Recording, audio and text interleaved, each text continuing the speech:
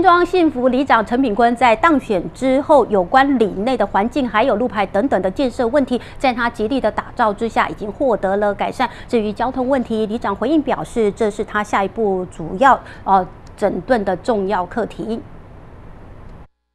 陈炳坤自从当选幸福里长后，就一步步逐步改善里内新气象。而究竟在这一年多内，陈里长做了哪些事情呢？里内这些那个指示牌，以前那巷弄都没有指示牌嘛，他现在都有了，人家都觉得那个这个是很多，因为有时候哈，你没有指示牌，外面来的哈，呃，亲朋好友都不知道怎么怎么找。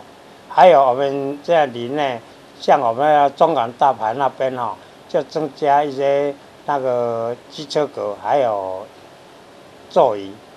也就是身为幸福里的一份子，所以他更清楚接下来里内急于整顿的是什么问题。现在就是有时候要像我们昌盛街这边哦，一些那个交通哦，可能要稍微整顿一下，因为现在像昌盛街。这个都车子都停了很乱，这个像我们现在那新北市政府也有说要来整理。